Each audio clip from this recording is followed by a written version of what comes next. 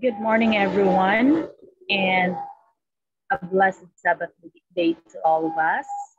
It is a great blessing that we can once again be gathered virtually to continue to praise our Lord and Savior who has been with us the past week, all throughout the week, and who has uh, guiding us, providing us with all the blessings that we receive, and sustaining us with life, especially. So today we're going to start our worship, and we will be singing some songs. For our first song, we will be singing When We Walk with the Lord.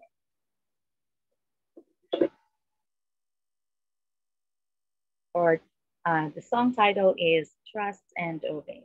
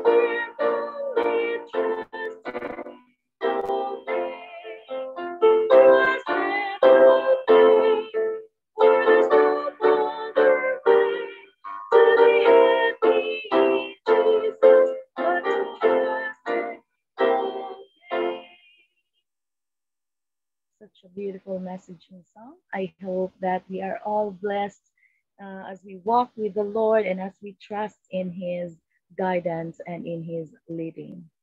For our next song, we will be singing Have Thine Own Way, Lord.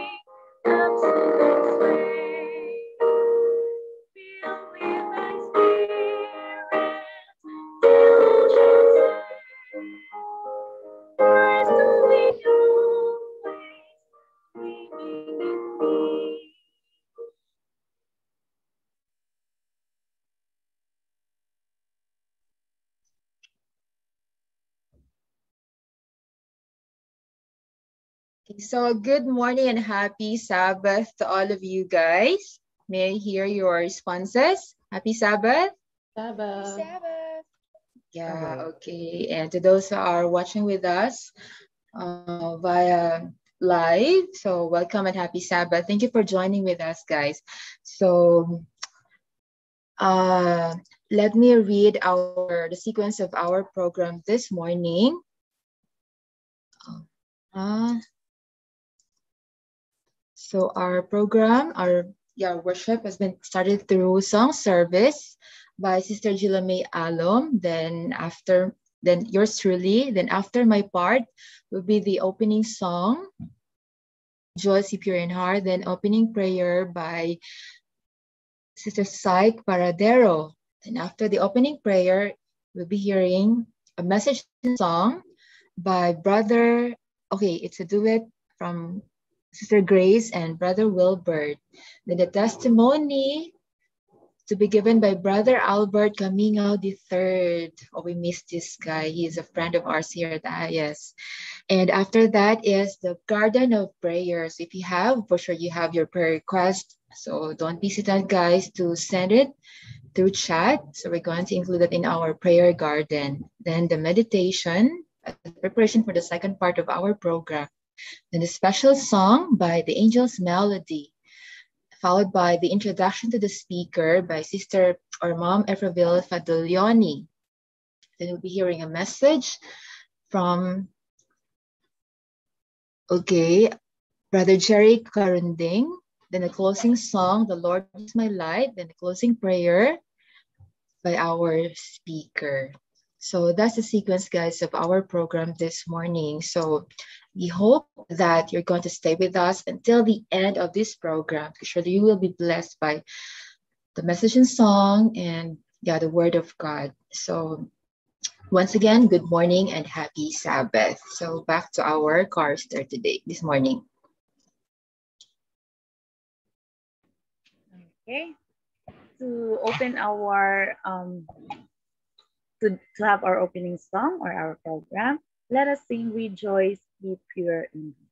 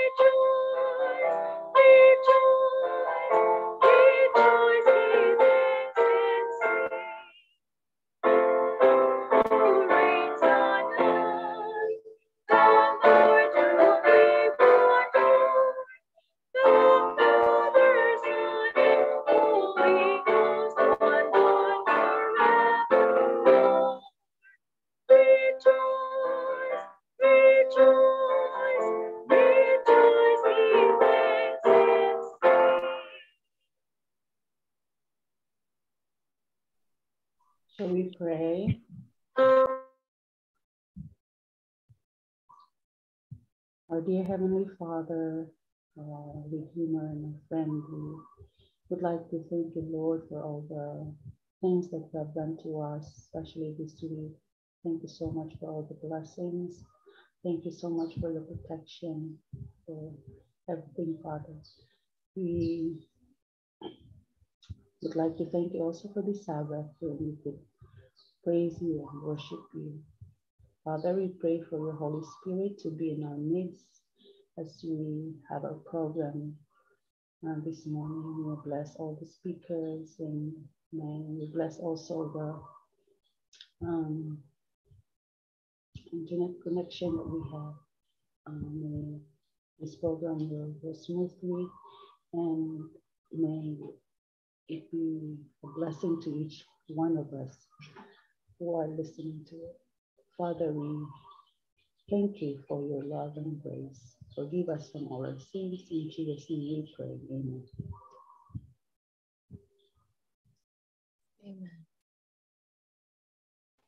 Amen.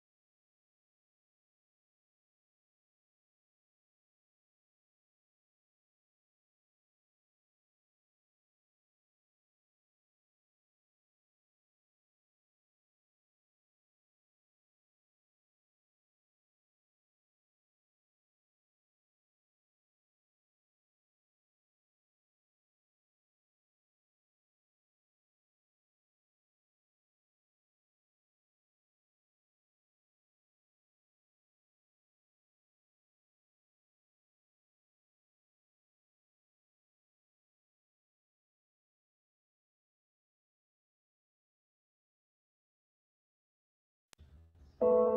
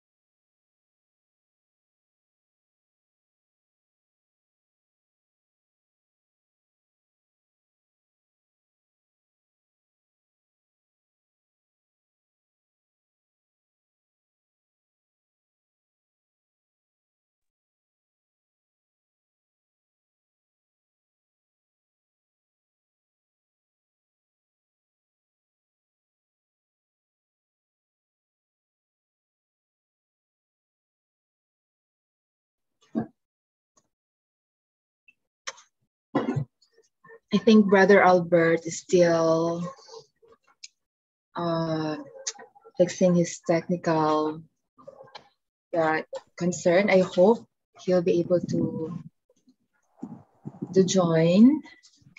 I think he's around. Brother Al Brother Albert, are you around? Oh, yes. Oh, finally, yeah, he's here. yeah. Okay, so I'll I'll give you the floor, Brother Albert. We're so excited to hear your testimony. It's been a while, brother. Okay. Ito pa yung lights ko. Hi, kumusta po? Happy Sabbath. Oh. oh, we're glad to see you, Brother Albert. Is my ano, audio fine? Nalilinig niyo ako. Yes, loud and clear.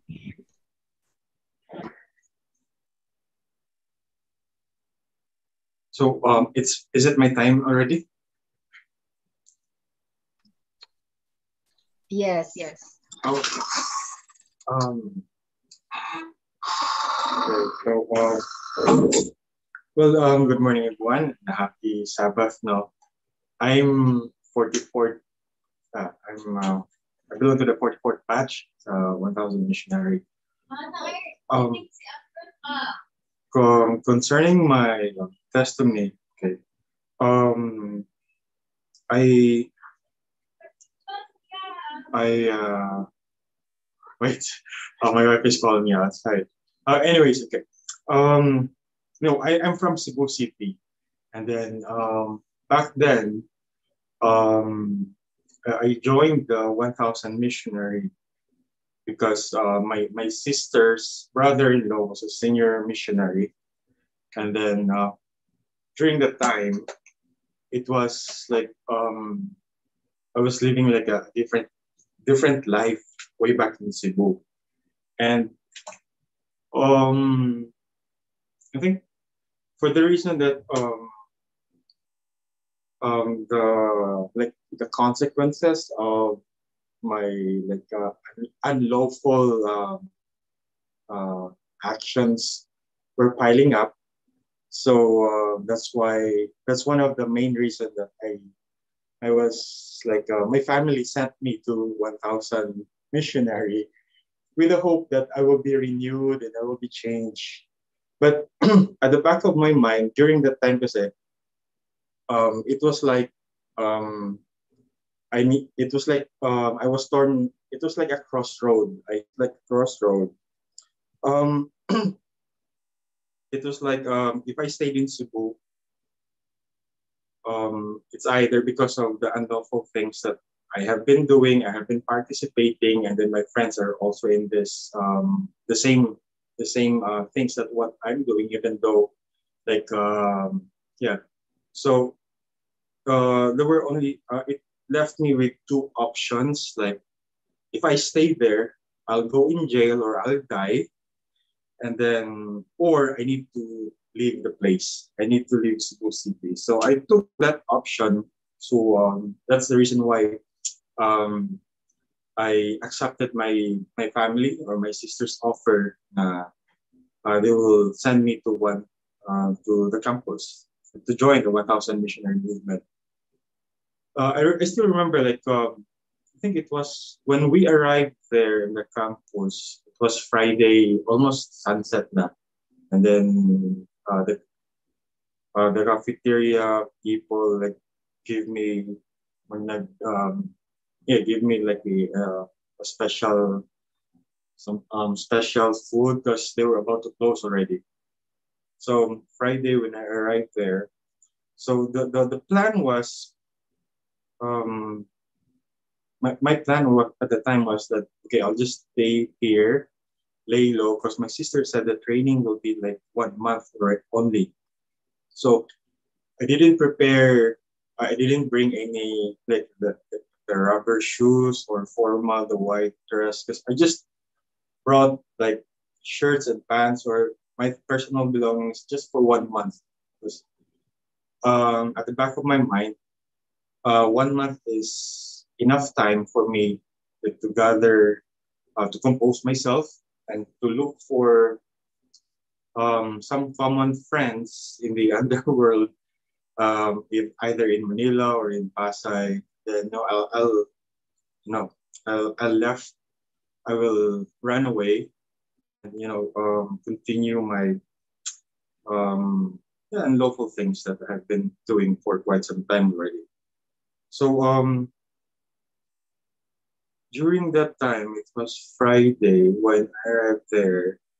Felt like, oh, this is a weird place because you know the garden and the, the buildings were so the, the, the colors were like but for me i felt very I, it felt very weird I mean the place itself so so you know uh um saturday came so and then sunday i'm not i think saturday sir Budi was our team uh sir Budi uh, informed us okay uh the formal training will be starting on monday so by sunday is invite he was inviting us uh, if we have some personal stuff or some things to buy, we need to buy.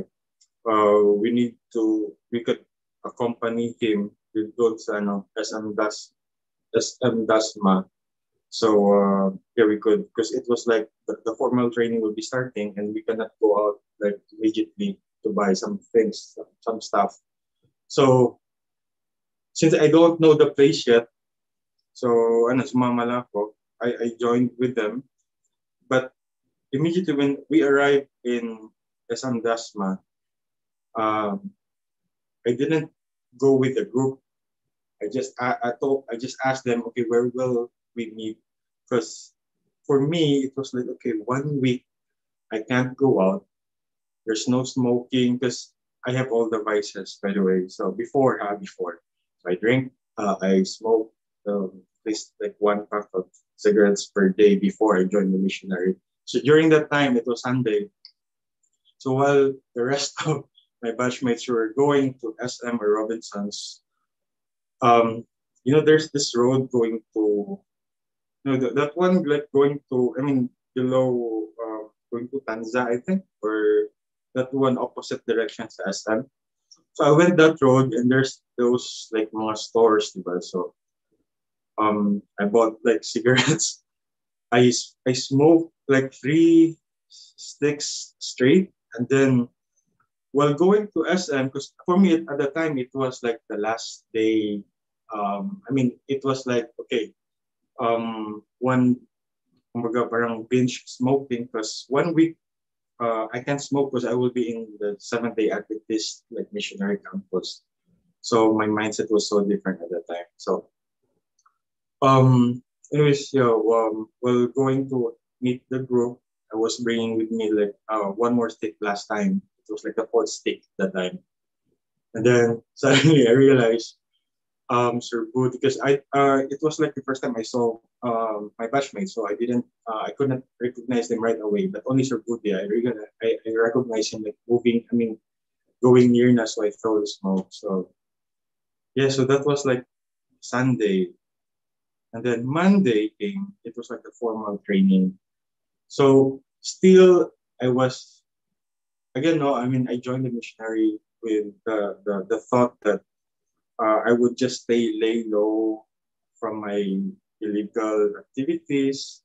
And then maybe after two or three weeks, I uh, the moment that um, uh, I was thinking na no, i-timing na ako uh, next Sunday or maybe third or fourth Sunday when we will be um, allowed to go out, I would you know, um, run away. Um, so those things were like, um, you know, yun yung nasa concept at the time. So first week of training, it was so boring. Sorry to say, you know, uh, it, it, it was, I find it so boring. I found it um, so boring. And because um, while I was listening to like the lectures, and then the, the, the preachings, the the short uh, short um, um, preachings or lectures or testimonies, for me, uh, it like it is our uh, these are the, the, the stories of my mom. My mother keeps telling me about this, the Bible, and that.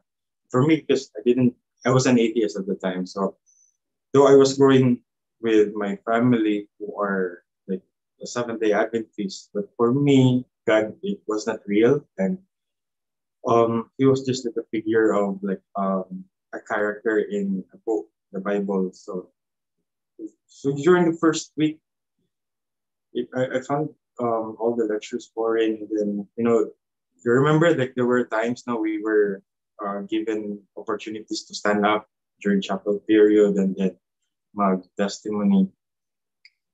Uh, I could not, good. I couldn't find any connection because um, ah yeah, there, there were times like um some of my um batchmates, they would stand up and then they would uh, share their life story and why the reasons why they joined the One Thousand Missionary. And then um like one guy, I think it was Jay Evangelista, James Evangelista. He introduced himself and said that he was like the black sheep of his family. Then so for me it was okay, this is interesting. I could maybe I could connect to this guy.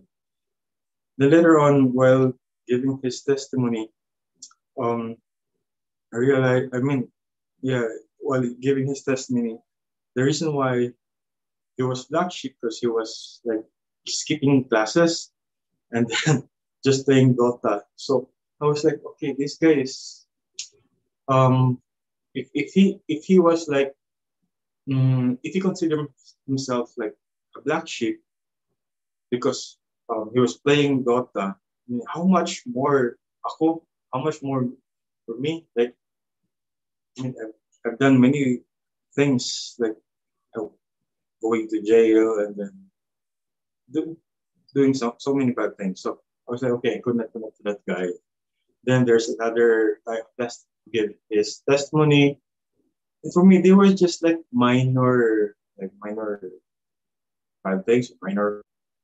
Not even a single of them committed a crime. So for me, it, it was so eager. Like, the first two weeks, I was so eager to go out.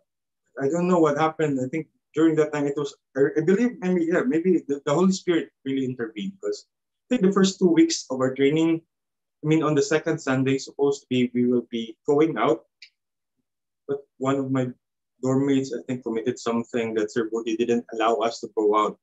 So, okay, my plan to run away didn't push through because the second Sunday we were kept inside the campus. But I mean, practically, you, you could just go out because you know the, the first time I went to the campus, the first thing I looked around was CCTV cameras. And then I, I realized, I noticed that only the admin building was having this, like the, I think you, you have noticed, no? Uh, the city, city, CCTV cameras were only at the building in the opposite sides.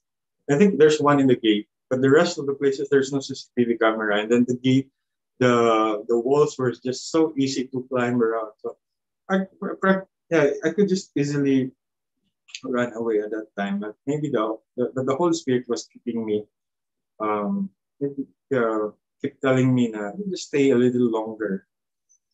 So it went on first, second two weeks. You know the eagerness of going out. You know, you you, you uh, I started to have cravings, like the smoke, the alcohol, and the drugs and everything. Because, but during one day, it was Pastor Galabit's uh, time, and then he gave his testimony about his past. For some reason, I really felt so like offended and insulted because the way when he was giving his testimony, now he was sharing like what was he, I mean, how bad he was during young uh, during his younger days. Then, I don't know, for, for some reason, I, I, I try to compare myself with what he was been doing. And then the way how, maybe the way how was he, the way, maybe the way how he was delivering his testimony that hit me. That I felt insulted. And um, like really felt insulted insulted that right after he was giving his like um I mean preaching or lecture, I followed him to his office and then I you know, it, we were just the, it was just the, the two of us. Then I like uh, I went out on him like but in, in a nice way, okay? In a nice way. I vented out on him, like, Pastor, like you were telling this, you were telling that. Then, you know, this is what I have been doing in my place. And then, you know, uh, I felt insulted. I, I, um, I was so, uh, no, prangka talaga at that time. I, told, I told him na, no, you, you were saying this, but you know what? You're so little. I mean, this is these are the things that I've been doing. I've been in jail. I've been doing that. But along the conversation, um, I believe it was the Holy Spirit who touched my heart. No? Well, well, I was so angry.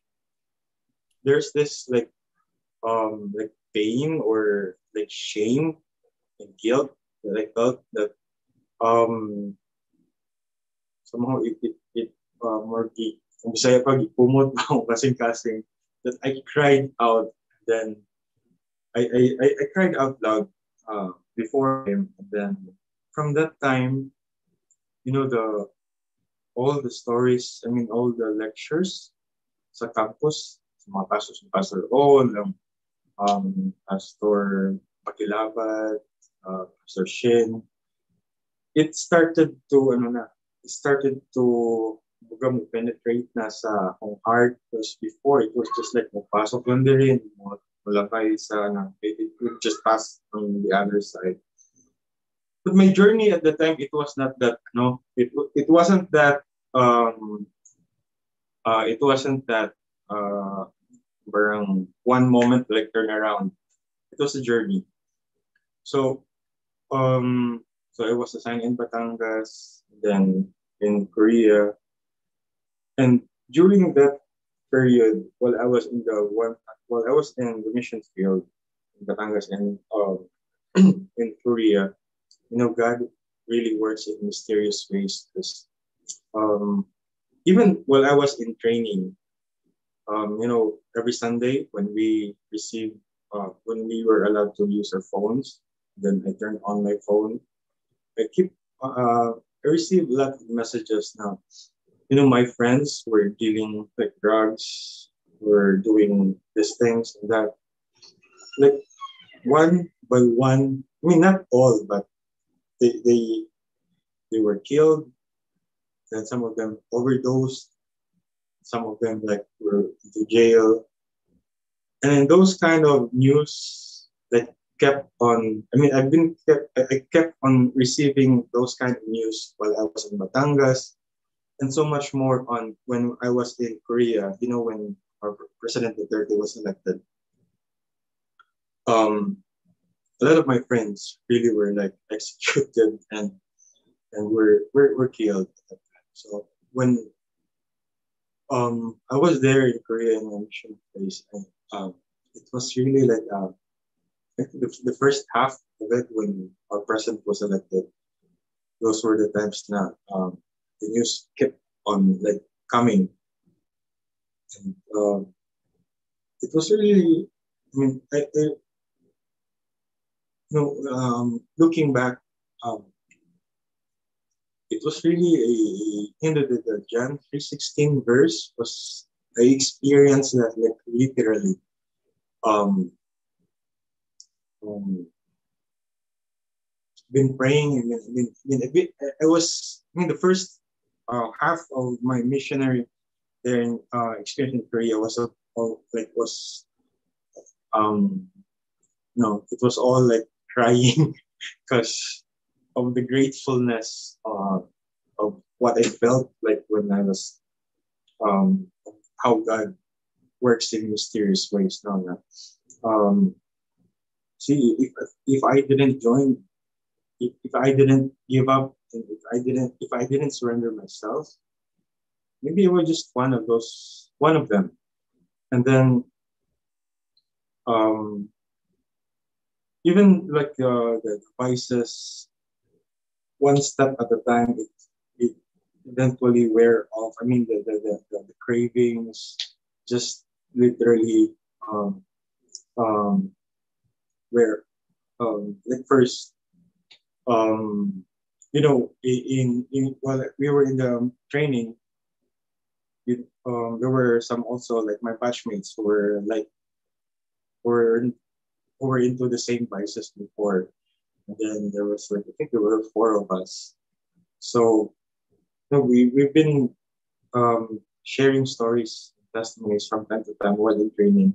And we have this rich, I mean, we have been living the same life before, and then we've experienced God's grace.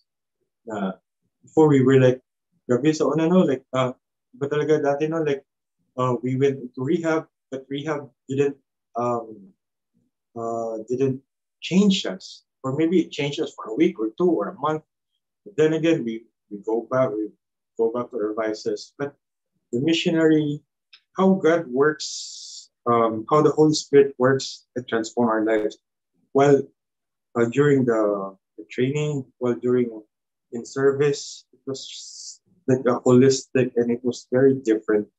It was like um, a life-saving um, life-saving event for turn turn events.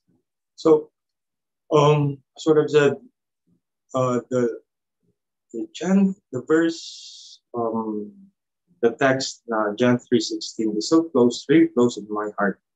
Not just because now it's so easy to memorize. I mean, not just because you could hear it from time to time very often, but it's because that I've experienced it literally. How God, how Jesus Christ would, would save you um, you just you know surrendering yourself and uh, believing into, into Him. So um, sort of said the, the the transformation, the reformation is the journey, and then um, with God's by God's grace, I mean, I've, I've, I've um, the reason why maybe I've re- yeah, the reason why I've reached this far is only because of His um, grace, and I, I know that um, we have, I mean, um, we have um, mga missionaries that uh, uh, who, who shared this, the same experience that I have uh, before. So I think that's uh, my testimony for today. Amen. Amen.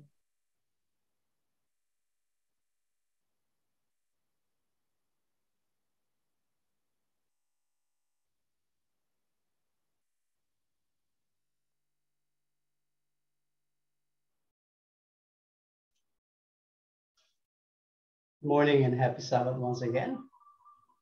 Uh, we are glad that you have joined us in our worship this morning.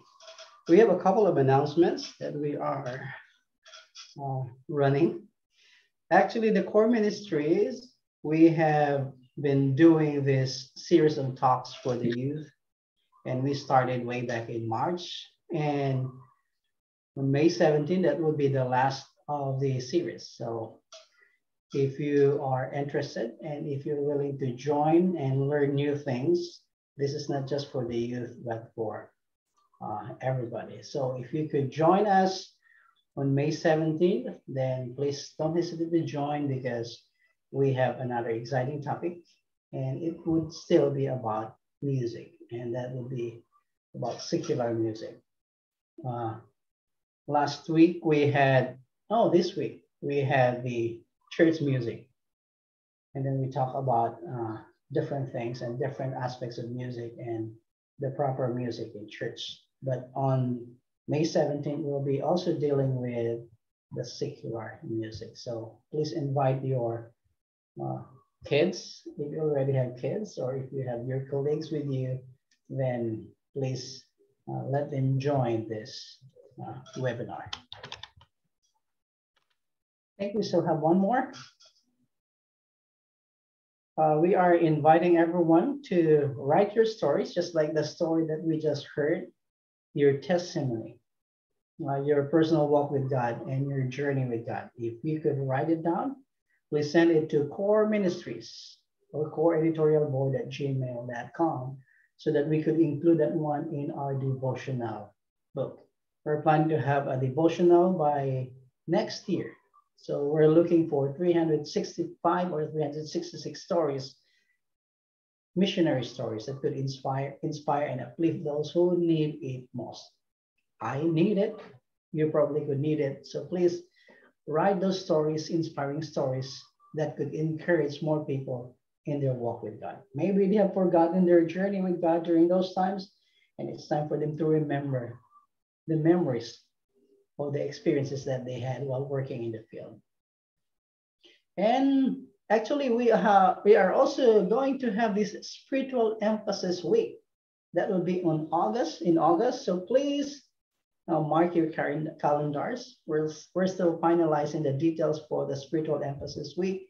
So please wait for that. We have uh, interesting and inspiring speakers that would uh, help us in our journey with God in that spiritual emphasis week. And I was given a message that the guardian of prayer will be after the sermon for this uh, worship. So please uh, wait for that and write or send your prayer requests ahead of time so that our technical team could include that one in our prayer request after the sermon. Thank you so much, everyone, and we'll see you again next Sabbath. But please don't forget to join also on May 17th for our Team Talk series. Have a nice Sabbath.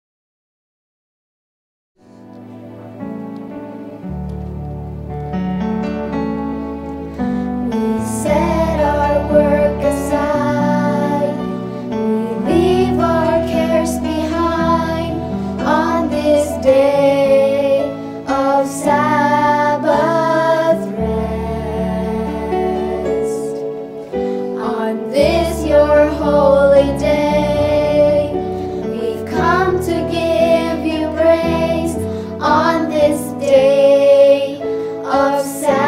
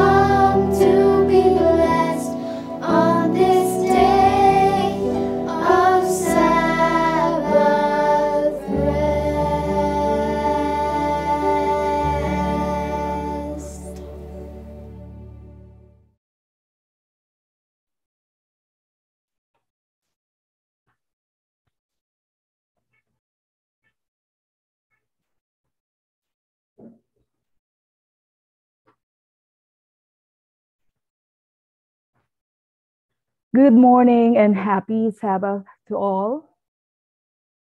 Sabbath rest is a holy rest.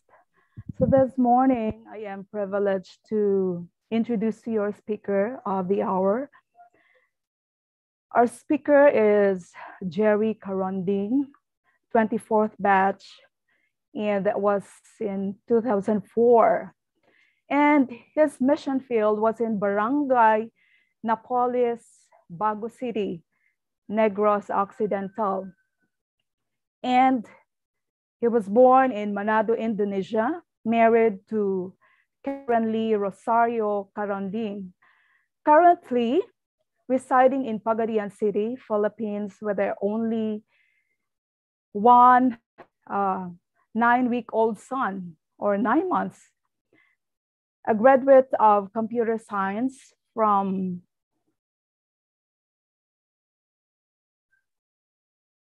Universitas Adventist Indonesia or UNAI in 2004, Bandung, Indonesia, a graduate of Master in Divinity at Adventist International Institute of Advanced Studies in 2018. So this morning, we are privileged because the Lord has given us a messenger in which that would uplift our spirit today and let us give him our time God bless each and every one of us. Thank you.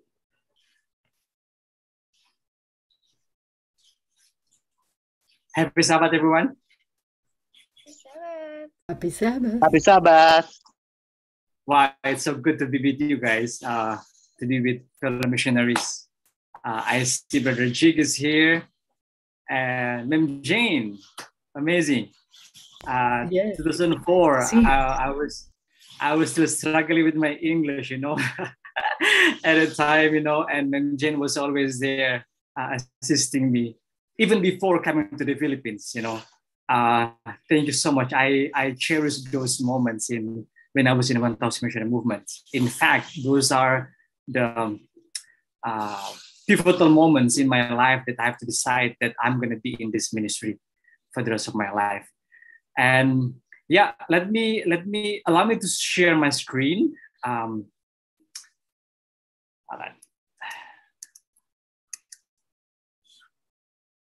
I think I have to be co-host to the to share my screen.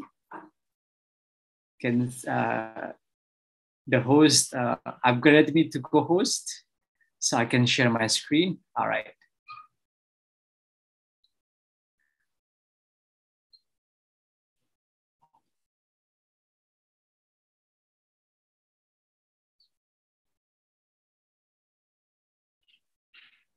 Okay.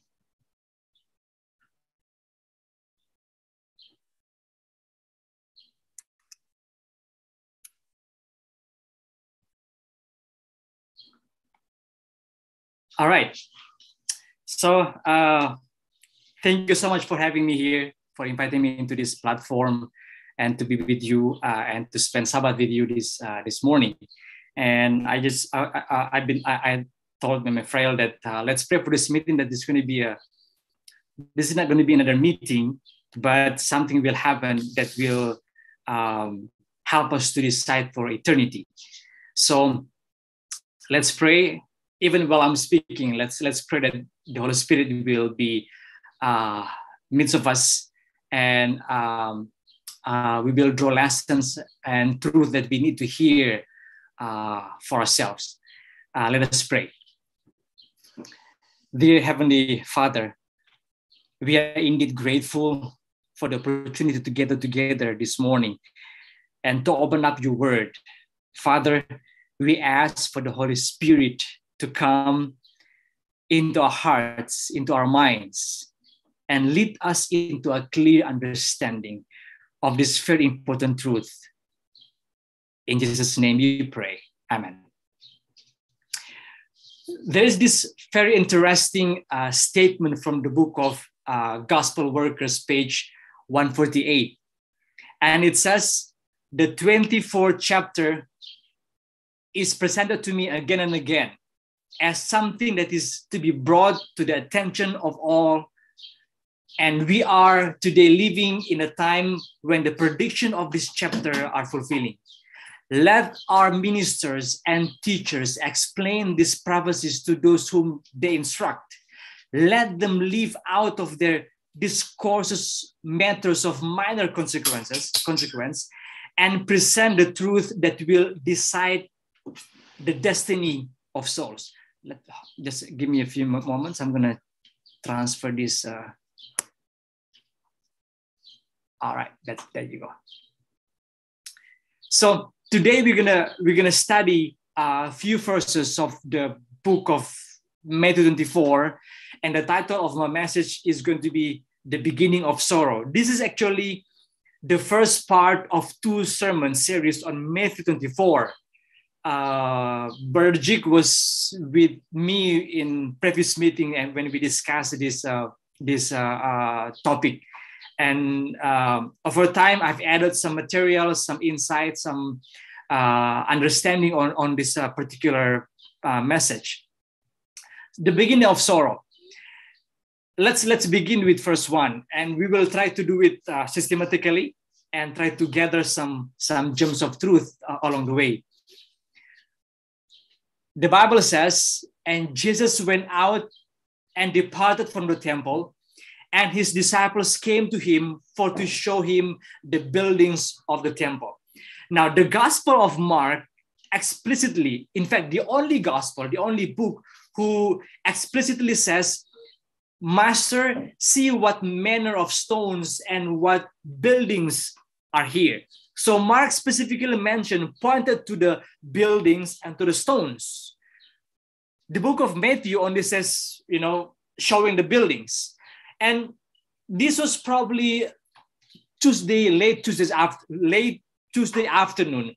And Jesus had spent the day teaching in the temple courts and had been um, assailed repeatedly by group after group of the Jewish leaders. And that was his last visit to the temple before the, the crucifixion. So imagine Jesus and his disciples coming out from this temple. And according to the history, this temple was built uh, beautifully and with magnificent structures and with white stones. This was the pride and joy of every Jewish heart.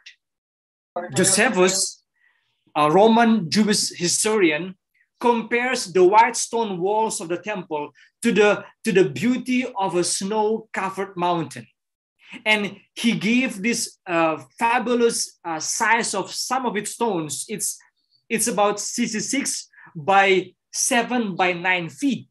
It's huge, it's humongous. And some people refer to this temple as Herod's temple because Herod apparently helped to build the temple. So here is Jesus and his disciples walking out of the temple, and the disciples were trying to show Jesus the temple. Now, why do you think the disciples were trying to show the temple to Jesus? Is it because Jesus never saw the temple? That's impossible. Because they just came out from the temple, right? So why were they trying to show the temple to Jesus? You see, because Jesus does something, uh, uh says something to the disciples that is very negative about the, the temple.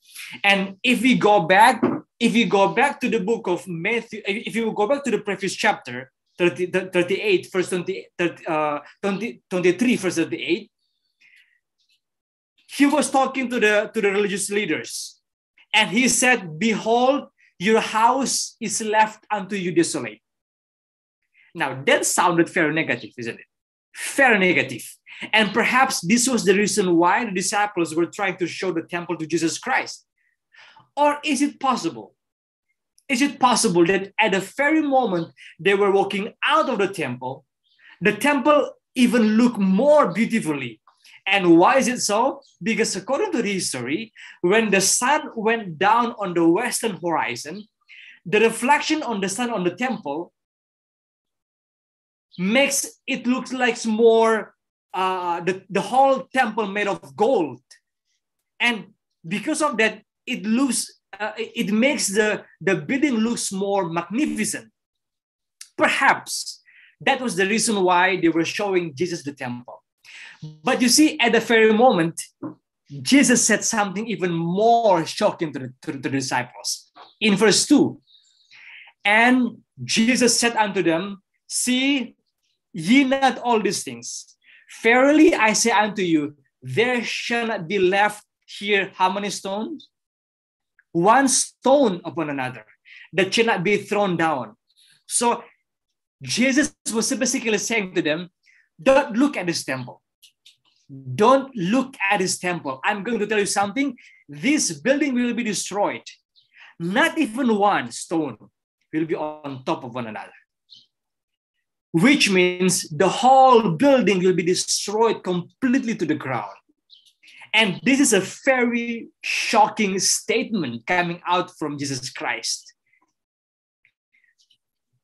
Knowing um, before before this uh, uh, uh, incidents, Jesus says, "This temple is my house, my house, my house." And then, first, uh, uh, first chapter 23, 38, your house, your house. Very shocking, very shocking change. Uh, uh, things is changing uh, along the way. So the Bible said in verse 3 and as he sat upon the Mount of Olives, the disciples came unto him privately, saying, Tell us, when shall these things be? And what shall be the sign of thy coming and of the end of the world? So, uh, friends, we need to pay attention to their questions. They ask the questions, When shall these things be? Meaning the destruction of the, of the temple and the destruction of the city. We know from the history that this was already taken place in the year of 70 AD. And I believe when they asked this question, it was in AD 31. So they also asked the question, what shall be the sign of thy coming and the end of the world? And this is still in the future. So the disciples asked actually two questions. When would be the temple be destroyed? And when is the, the end of the world? in their mind, they were thinking they only ask one question because they did not know that the destruction of Jerusalem will happen right here. And the end of the world will happen more than 2,000 years later. So they thought these two events are one because they believe the temple of God should last until the end of the world. So when you read Matthew 24, you can definitely see that Jesus is giving them two answers, but it sounds like he's giving them only one answer. Jesus was telling them what happened prior to the destruction of the, of the temple of Jerusalem, and at the same time, he was describing what may happen before the destruction of the whole world. Now, uh, let me ask you this question uh, you can open your, your, your, your, your audio. What are the signs of the end of time?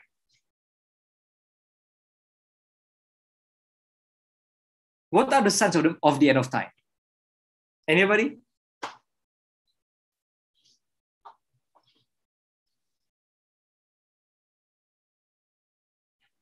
You can open your mic if you want.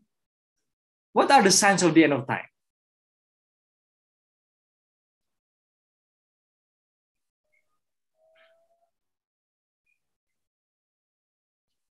Wars, rumors of wars.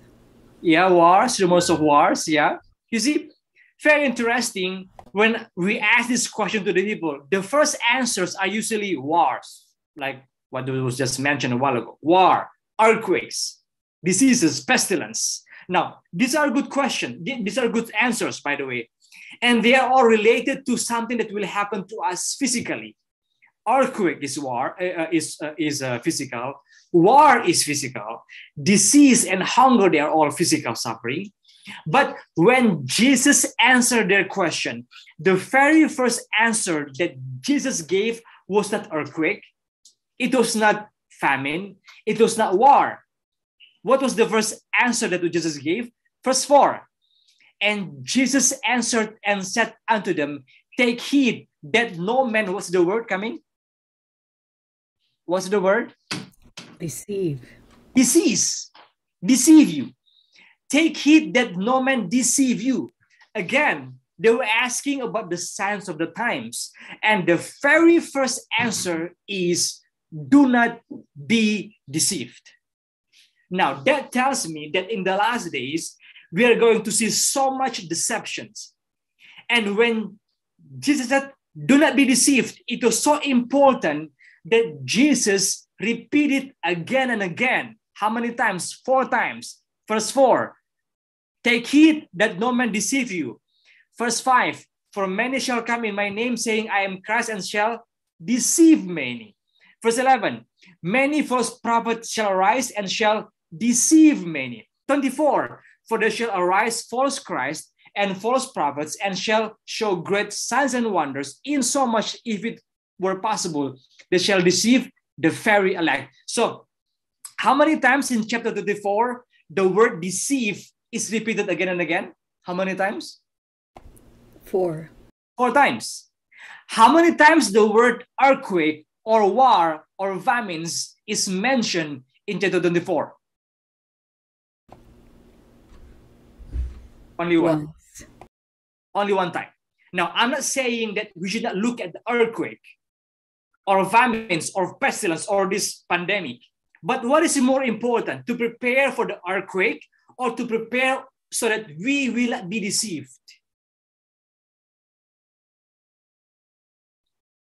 Prepare that we are not going to be deceived. That should be more important. So important that Jesus mentioned it four times. You see, deception is not so much physical, right? It is mental. What's happening in your mind? And the very first human, the very first time human being was deceived was in the Garden of Eden, when Eve was deceived by the serpent. And uh, her thinking and her feelings were changing.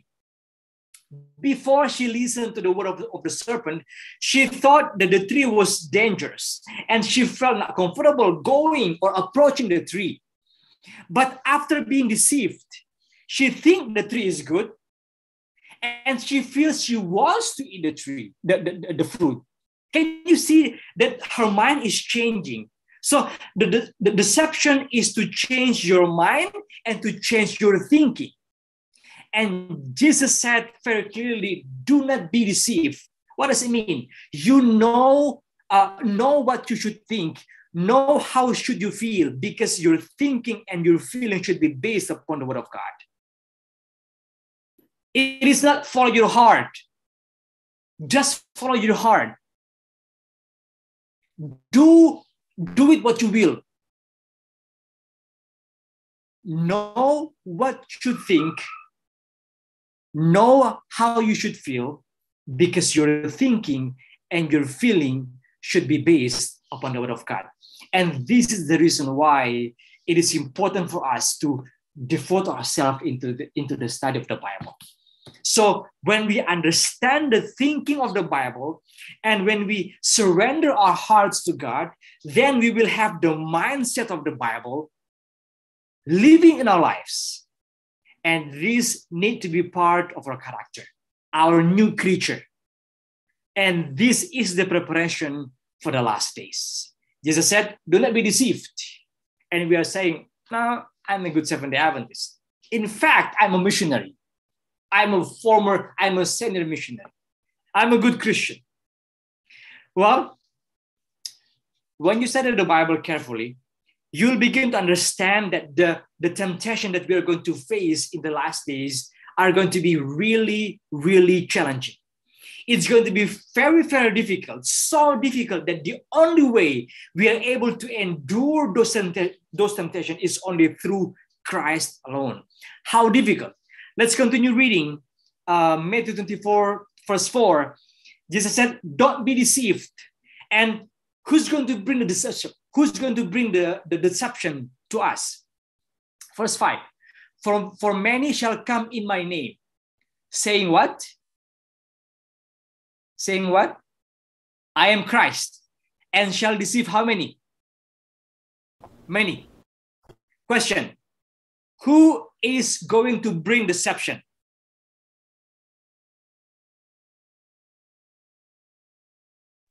Satan.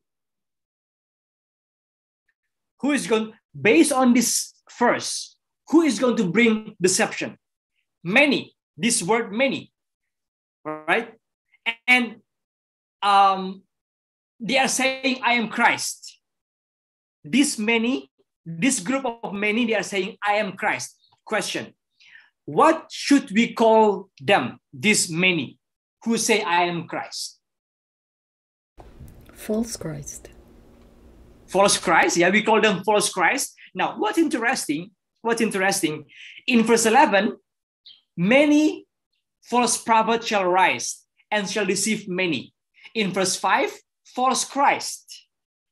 But in verse 24, they were together, for there shall arise false Christ and false prophets and shall show, uh, show great signs and wonders. You see, false Christ will deceive many.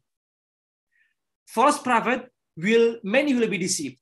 But when they were together, false Christ and false prophets, they will show great signs and wonders meaning they're going to use miracles like in revelation 16, uh, 16 14 they have uh, they have greater power to deceive people.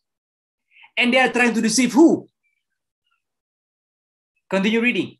In so much that if it were possible they shall deceive the very elect. They were trying to deceive the elect. Question. This word elect do you think there are many or only small people, few, few, few in number. This word elect, are they many or few in numbers? Hello? Many. Are they many people or small in number? This word elect, small people, small in number, right? Small in number. So look at again. False Christ deceive many, but not the elect. False prophet deceive many, but not the elect. By the way, let me let me let me clarify this one. In so much that if it were possible, they shall deceive the very elect. Question: Will the elect be deceived or not? This first, the last, the last uh, um, statement. In so much that if it were possible, is it possible to deceive the elect or not? Will the elect be deceived or not? Hello, you can open your mic. No. No. No, right? If it were possible, so I mean that means it's not it's impossible, right? It's impossible. So false Christ deceived many, but not the elect. False prophet deceived many, but not the elect. So perhaps in the mind of Satan, he was thinking the strategy on how to get the elect. Well, false Christ, false prophet, you guys work together, and I will give you more power. And the Bible says, if it were possible, from the inspired writings, Christ Triumphant, page 187, paragraph 1. It says, as the work of God's people moves forward with sanctified, resistless, resistless energy, planting the standard of Christ's righteousness in the church, moved by a power from the throne of God, the great controversy will wax stronger and stronger and will become more and more determined.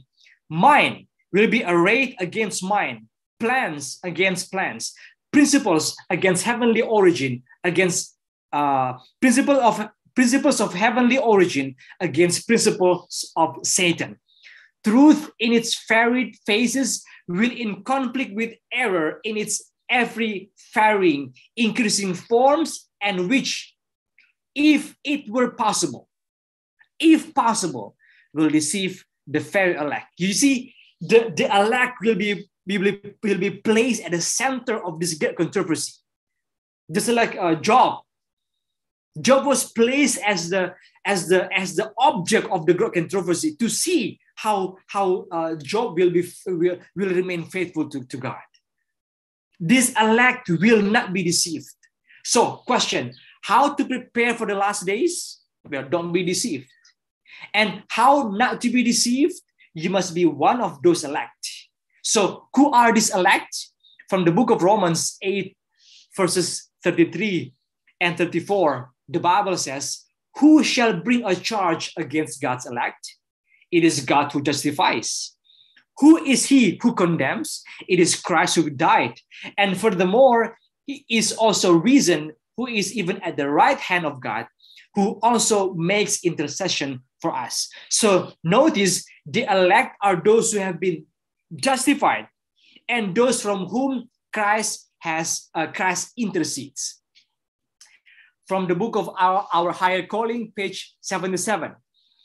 Everyone who will humble himself as a little child, who will receive and obey the word of God with a child's simplicity, will be among the elect of God. Now, before we continue further, are we now convinced that Jesus made a very clear statement that the most important preparation for end time is preparing ourselves so that we will not be deceived? Are we clear on that? You see, some people, they were thinking the best place to escape these calamities, this pandemic, this earthquake is go somewhere. You know, they are thinking of for, for a certain place. Or, you know, I have to go country living and then have uh, these piles and piles of rice, stock of food for the end time. I'm not saying that those are not important, but the most important is to prepare not to be deceived. Psalms 91 is loaded with promises at our disposal as we face these uncertainties of the end time. You see, God can provide our food. God, God can protect us from physical harm. But God cannot and will not think for ourselves.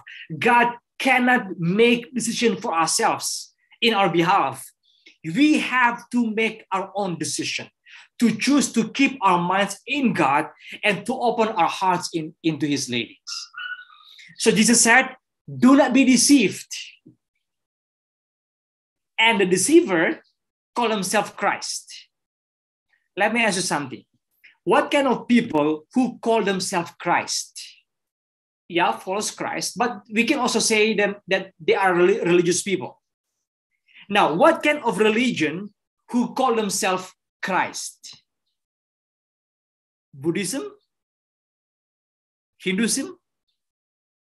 or Muslim probably. What kind of religion, uh, what kind of religious people who call themselves Christ?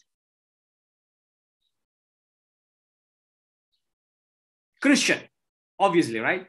Christian. So it's like it's like Jesus is saying that the most dangerous people in the last days are going to be Christian. Did you hear that? The most dangerous person in the last days are going to be Christians. And how many are Christians today? How many Christians today in our group? All of us. You. That means you can you you are a dangerous person. That, that's what the Bible says. That's what Jesus says. We can be a dangerous person. So Jesus is saying that if you want to know my coming, if you want to know my coming, pay attention to the religious the, uh, religious world, but specifically the Christians in the last days. And obviously, Jesus is not saying that Christian is evil, but he's basically saying Satan is so smart that he will use Christian to receive to deceive other Christians, and that is more dangerous. And right after this, in verse 6, and ye shall hear of wars and rumors of wars, see that ye be not troubled, for all these things must come to pass, but the end is not yet. The very next topic after deception is war, rumors of war. Question what kind of people that usually talk about war? Or what kind of people who normally plan to have war with other nations? What kind of people in the nation? Those are people who are in the in the senate in the uh, um, congress right? So we can safely say because war is a political thing those who are in the politics war is a political thing and false christ is a religious thing. So jesus is saying if you want to know my coming pay attention to the christian in the last days. And pay attention to the political affairs what kind of issues potential to fight and battle to make it simple pay attention to the two powers in the world religion power religious power, I'm sorry, and political power. Religious power and political power. So look around, see what's going on uh, in the religious world and political world. In other words, Jesus is uh, giving us an, an idea. Pay attention to what is happening in the church and in the state because they are going to play a very interesting role in the last days. Let's continue. Verse 7 For nations shall rise against nation, and kingdoms against kingdom, and there shall be famines, pestilence, earthquakes in diverse places. So, did you notice a progression here? Before it was just talking about hearing of wars and rumors of wars, but now they're actually fighting against each other. They are, they are in actual fight. Now, I'm going to ask this simple question. When nation is against nation, when one nation is fighting against nation, are they united or are they divided? Divided, obviously. So there is a religious deception, there is a political conflict, and after this, in verse 7, there shall be famines and pestilence and earthquake in diverse places. We call them uh, natural uh, disasters. So pay attention to the order religious deception, and then uh, political conflict, and they are divided. And then natural disaster. So, um, very interesting religious deception, political conflict, they are divided, and a natural disaster. And then after this, the Bible says all these things are the beginning of sorrows. All these things. What what what uh, what are what are all these things means? This refers to the religious deception, political conflict, they are divided.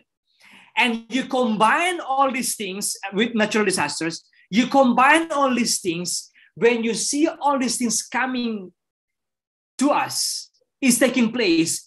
This is the beginning of sorrow. In the Greek language, ordines, this word, the, the beginning of sorrow means the birth pain for a, for a woman uh, to have a child. The beginning of sorrow means the very first pain that she feels. The pains comes gradually. First come just a small pain and then it's gone. Pain again and it gets stronger and then it gets, it gets stronger and then peace again. Painful again and then no pain. The, the frequency and the intensity of pain are increasing. And the final pain is so painful and so bad, and then the baby, baby. So Jesus said, when you see all these things, they are just the beginning of sorrow. And I believe when these things happen, we are going to see, we are going to have peace in between. And the frequency and the intensity of the bad things will increase. You think this pandemic is bad enough? No, it's, it's coming. Even more worst. And we are seeing it right now. The Bible says there's going to be famines, pestilence, and earthquake, and they are all uh, um, natural disasters. And why these three, by the way? Why these three? You see, famine means hungry. Famine meaning means you're hungry. Disease means you are sick.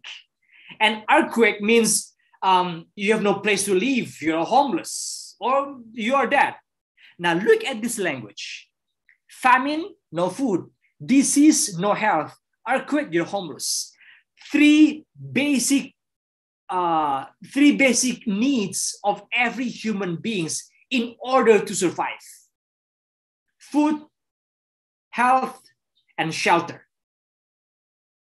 In the last days, things will become really bad. How bad? No food. On top of that, you're sick. On top of that, you have no place to live because you're homeless, because your house has been destroyed by the, by the, by the earthquake. How do you feel? How do you feel? Distressed, desperate. And when you become when you become desperate, psychologically speaking, in order for you to survive, you are willing to do anything.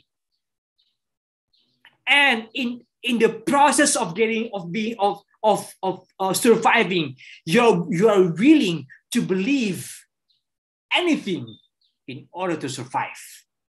So when human being becomes so desperate, you become weak, you are shaken, you want to survive. And because of this desire, you are willing to even change to what you usually believe so that you can eat, so that you have uh, uh, medicine uh, to, to recover from your illness, so that you have a shelter, just for us to feel secure. Again, religious deception, political conflict, they are divided, and a natural disaster. These are the beginning of sorrow. And in verse 9, then shall they deliver you up to be afflicted, and shall kill you, and ye shall be hated of all nations for my name's sake. The Bible says, they shall deliver you. Question Who are they? Who are these word they refer to? Anybody? Who are these they refer to? Well, from the previous verses, they can be the deceivers or the people that are deceived. So it is very possible that religious people, in connection with political people, church and state, are working together to arrest you, to afflict you, and to kill you. But what's more, what's more interesting, the Bible says that uh, you shall be hated of all nations for my name's sake. You shall be what? You shall be what again? Anybody? Hated. You shall be hated. By how many nations? All. All nations. So all nations hating God's people. Question. When all nation hating God's people, in the act of hating, are they united or divided? United. They are united. You see, verse 7 nations shall rise against nation. Verse 9 all nations. It was divided, but now they are united. What's going on? Why there is a change? Did you notice that? What happened in between? What caused them to be united? You see, according to verse 9, it looks like they get to be united to hate God's people.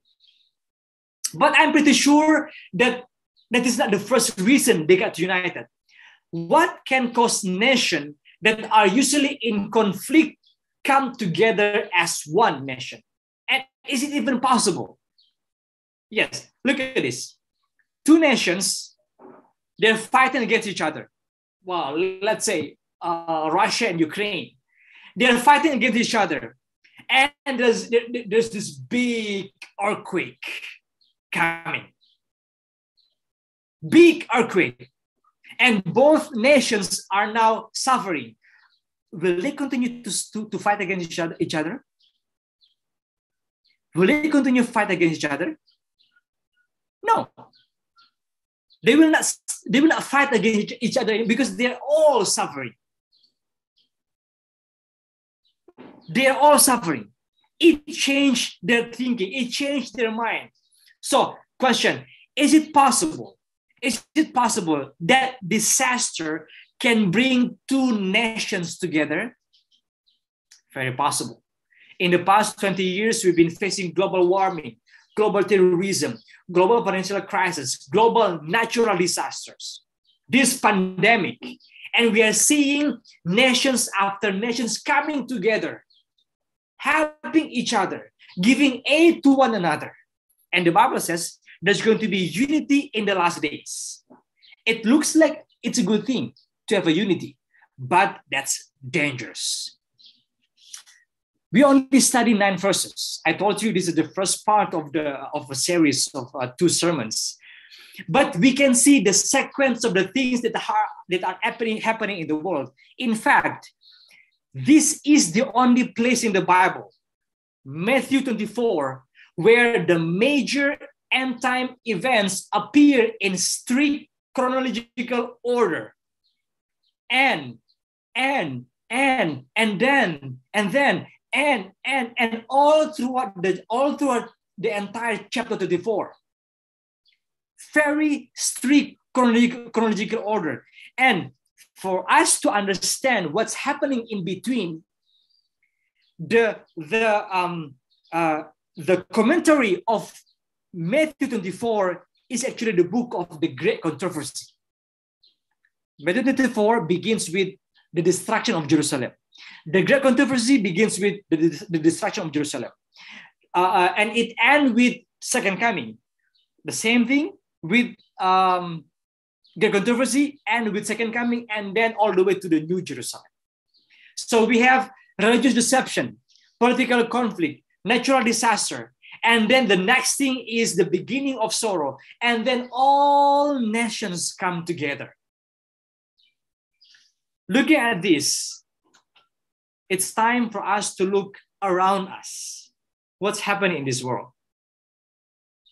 This pandemic, people are now we're talking th- these rumors of war, World War the Third. Rumors of war. What should we do? Run to the mountain, have country living, and stock of bring all rices that you can get.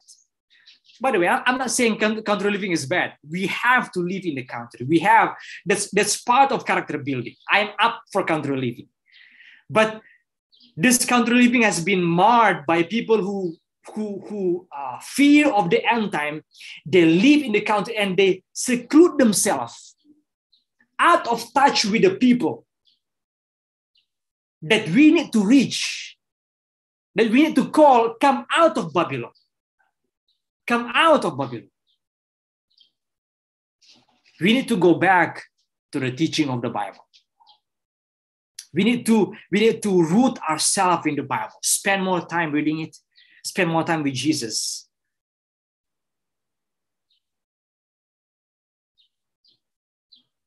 And look the future in anticipation for Christ's return. We work in anticipation for Christ's return. I'm going to work as a teacher in anticipation of for second of, of Christ's return. I'm going to work as a as a as an accountant or as a doctor in anticipation of Christ's second return. So please consider these things. And Jesus is urging and pleading with us, with you. Do not be deceived. Do not be deceived. Things will get worse and worse and worse. And but Jesus says, Fear not. Fear not, I will be with you. You're gonna be in prison? That's okay. I'm gonna be with you. You will get sick? That's okay. I'm gonna be with you. You're gonna be afflicted? That's fine. I'm going to be with you.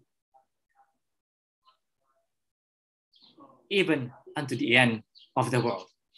The main purpose of Matthew 24, the main purpose of Matthew 24 is not to convince secular people that Jesus is coming soon. It's not. The main, the central purpose is to keep God's own people faithful in the midst of Satan and uh, Satan's end time deception and persecution.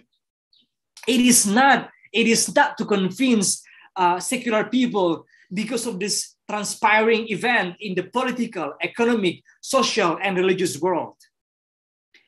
Jesus told his followers that Satan is going to exert all his efforts to deceive, to discourage, to persecute, and kill God's people with the intent of leading God's people to lose their faith. The purpose of this chapter is to encourage the faithful one hang on. Hang on. I'm coming. I'm going to be with you. I'm going to be with you. How many of you this morning wanted to, to pray? Lord, yeah, so much fears in my heart, so much fear in my mind, looking at this pandemic, you can, uh, what's going to happen after this election, you know? And these rumors of war, of uh, third world war, Lord, I, I fear. I discourage. I'm afraid that of all these bad things that are happening in the world. I'm, I'm, I'm incapable preparing myself for the end time. I think that's the that's the that this is the reason why we need Jesus all the more. How many of you want to to make a decision tonight? I mean, this morning, Lord, please be with me. Help me not to be deceived. Can you raise your hands digitally? All right, let's pray. Loving Father in heaven, it is just uh, beautiful and sweet things to uh, to just uh, address you, Father. This God of the universe, this creator of all this cosmos, and yet you allow us to call you Father. Such a dear name to address you, Father. And you allow us to call ourselves daughters, sons, and daughters. We want to thank you for giving us this assurance of your presence as we face these uh, troubles, these uh, uncertainties of the end times. As we see before our eyes these uh, signs of the times uh, unfolding, we want to pray, Father, please be with us. Draw very close to us. We, you have promised that when we draw closer to you, we'll be drawing closer to us too. So please, never leave us alone. Thank you for the word of God that give us maps, that give us GPS, that grant us that we will not be deceived, that we will not go astray. And we have decided, we have committed ourselves to the word of God to live a life from this time onwards that will only that will that will have only one purpose and that is to bring glory to your name. Hide us father. Hide us behind the cross behind your cross.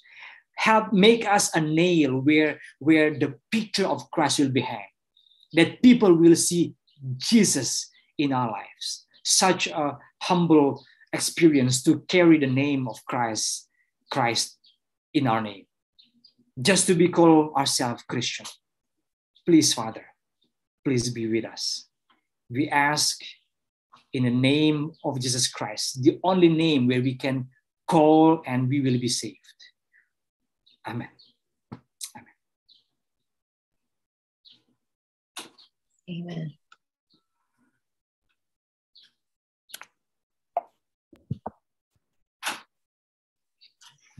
Okay, praise God for the powerful message that you have given to us, Sir Jerry. So now we're going to proceed to our end of prayer. But before we're going to collect your prayer request, uh, we'd like to request you, Sir Jerry, to lead for our garden of prayer later after, yeah, we have been collecting the prayer request. So At this time, guys, if you have prayer requests, please send your prayer requests through chat. Okay, so we have a list here, aside from your personal prayer request, guys. Okay, so we have, let's pray for our online ministries worldwide. The second one is COVID, those who are COVID-infected patients and frontliners. And the personal relationship, our personal relationship with the Lord, this is very important. And the outpouring of the Holy Spirit. Then the ongoing talk series of the core ministries is to continue guys to support this program. Then the Ukraine and Russia conflict. Please pray for Sister Joreen in her health issues. Please pray for the for the Grace Estrellas family as they recover from COVID. And also pray for Brother Wilbert, Wilbert Silibio to recover soon from COVID. Yes, he's positive. And for pray for Julie Ann's daughters, Jani and Jaazi to get well from chickenpox. So there's one sent a prayer request here from Sister Salim. Please pray for the upcoming general elections next Tuesday in America, as well as the one that just passed this week in Filipinas. Okay, so any prayer requests?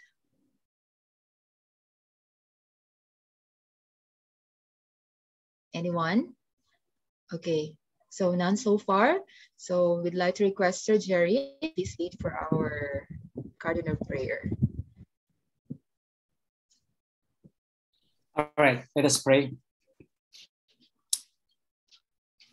Mighty God, everlasting Father, we want to call your name again one more time. Uh, in this meeting, we want to thank you so much for bringing us together in this uh, uh, virtual meeting from all over the world uh, for one purpose to study your word and to uh, uh, see ways on how we can uplift your name uh, in our lives.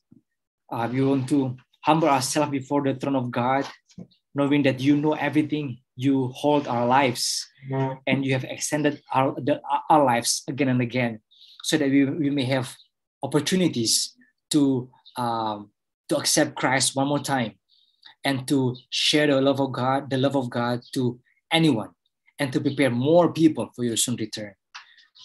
And yet we have a prayer request, Father. We have we have this desire of our hearts that we want to um, bring to you, petition in our hearts that we want to bring to you, Father. We we are aware of the ongoing conflict between Russia and Ukraine, and many are affected. In fact, I met a, a family in Ukraine just a few days ago from Ukraine. They are displaced. They have family back home. We we might know somebody from Ukraine as well. So we want to bring them, Father, into your hands, into your um, mighty uh, hands, Father, that you will be with them. You will you will uh, spare them from any any uh, untoward uh, uh, situation. Many have died. People are being displaced, going out from the country, and yet many also are staying behind to fight. So we want to pray, Father, may the spirit of peace will continue to move to these people, in not only in, in not only in Ukraine but also the people in Russia. We have faith that, as what the Bible says and the inspired writing says, that um, you hold the kings of the world. You bring them up and you bring them down. So we want to put our trust and you want to have our faith in the Lord that God is not blind looking at these things. We want to pray for this uh, ongoing counting of this uh, uh, votes uh, uh, election in the Philippines. We want to pray that you will continue to uh, to watch over us to have a peaceful election process, and that the leader who will be elected will be chosen by the nation, by the people, will be the kind of leader that will uh, allow God's people to, to worship you more, to spread the gospel even more rapidly, to give us this window of time before the close of this probation to bring the gospel to all over the world. So we want to pray also for the conflict in the families, conflict internally, individually that we have, that we uh, uh, uh, are praying to you directly. Please, Father, be with us. Hear our prayers. Hear our petition. Help us to wait in the Lord. Help us to have Jesus in our hearts. So be with us the rest of the Sabbath hour. Help us to keep and maintain the sanctity and the holiness of the Sabbath. Prepare us for your soon return. Help us to be faithful until you return on a second time. In Jesus' name we pray. Amen. Amen.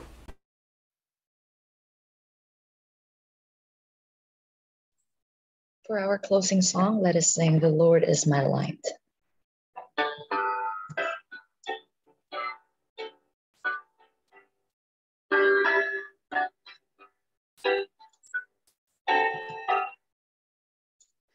The Lord is my light, then why should I fear? By day and by night, His presence is near. He is my salvation from sorrow and sin. This blessed persuasion the Spirit brings in. The Lord is my light, my joy and my song by day and by night, He leads me along. The Lord is my light, my joy and my song.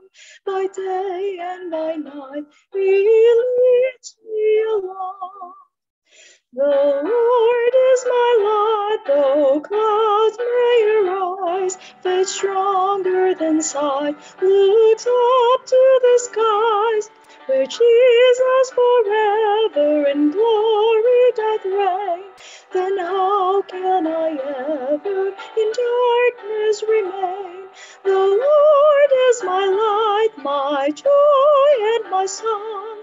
By day and by night, He leads me along. The Lord is my light, my joy and my song. By day and by night, He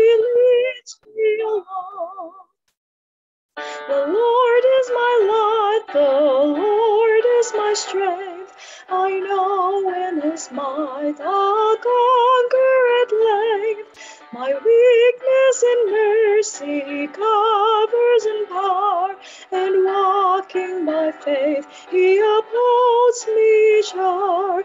The Lord is my light, my joy and my song. By day and by night, He leads me along. The Lord is my light, my joy and my song. By day and by night, He leads me along. The Lord is my light, my all and in all. There is in His sight no darkness at all. He is my Redeemer, my Savior and King. With saints and with angels, His praises I sing. The Lord is my light, my joy and my song. By day and by night, He leads me along.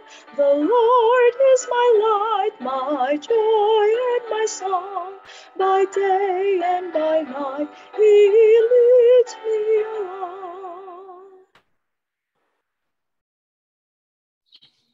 Let us pray. Heavenly Father, indeed you are our song, our, our joy, and our light. And we want to thank you for being the way you are in our lives. We want to ask one more time, Father, send us your Holy Spirit. Fill every chambers of our heart with your Holy Spirit. Take away all the worldliness in our lives, that we may be worthy to be called the temple of God, the living temple of God. Bless our worship today in Jesus' name. Amen. Amen. Okay, so thank you so much, guys, to all of our participants, especially to our speaker. So hope you're going to join with us again next Sabbath. And enjoy the rest of the Sabbath, guys. Thank you, Elsie. Thank you, everyone. Thank you. Happy. Sabbath. Thank you, everyone. Thank you, Jerry. Thank you, Jerry. You're welcome. Praise the Lord. Nice to see you again. Yeah. Yeah, it's nice to see you. it's been like several decades. Yeah. You've improved a lot, and I'm, I'm I really happy. praise the Lord. Yeah, praise the Lord. You're a part of the So- journey, Ma'am Jane. Praise God. Goodbye, everyone. God bless all. Bye, everyone. God bless. Thank yes, Jerry. God bless. For everyone. Yeah. God bless you. Bye. Bye, everyone. Bye, everyone. Bye. Thank you. Bye.